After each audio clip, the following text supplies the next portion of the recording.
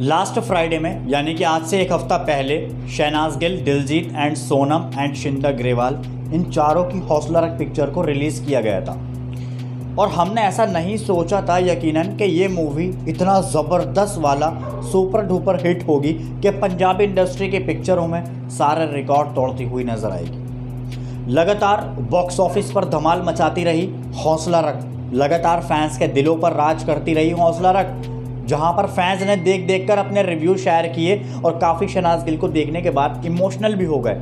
ऐसे में मूवी इतना ज़्यादा बिज़नेस कर गई, इसका एक सबसे बड़ा रीज़न शहनाज कौर गिल है। बाकी काफ़ी सारे लोगों का ये सब भी कहना था कि उसमें दिलजीत भी हैं, शिंदा भी है। मानते हैं भाई, मानते हैं, मगर दिलजीत ने एंड शिंदा ने पहले भी पिक्चरों में काम कर चुके हैं ये लोग, मगर इतना ज़्यादा मूवी सुपरहिट नहीं हुई।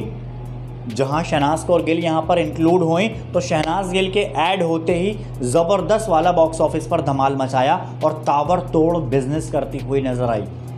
अब तक एक हफ़्ते में 28.25 करोड़ का बिज़नेस कर चुकी है, यानी कि सवा अट्ठाईस करोड़ रुपए इस वाली मूवी को कामयाबी मिल चुकी है सवा अट्ठाईस करोड़ रुपए की, जो अभी तक का पूरा स्टेटमेंट निकल कर सामने आया है। बाकी इसके अलावा जो सॉन्ग ट्रेंड कर रहे हैं सोशल मीडिया पर पंजाबी टिप्स के ऊपर इसके सारे सॉन्ग को रिवील किया गया है, वहाँ की अर्निंग अलग है। मगर पिक्चर जो बॉक्स ऑफ़िस से कमाया गया पैसा है, वो 28.25 यानी कि सवा अट्ठाईस करोड़ रुपए अभी तक इस मूवी ने कमा लिए हैं और अभी आगे भी परफॉर्मेंस जारी है। और ऐसे में पंजाबी इंडस्ट्री में ये एक नंबर वन पिक्चर बन गई है बिज़नेस के मामले में, जो इतना ज़बरदस्त तरह से इस वाली पिक्चर ने बिज़नेस करके दिखाया है।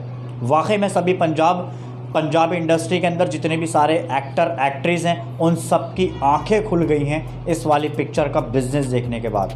और सब उन सबको, उन लोगों को मुँह तोड़ जवाब भी मिल गया, जो कल तक ये कहा करते थे कि शहनाज को एक्टिंग नहीं आती।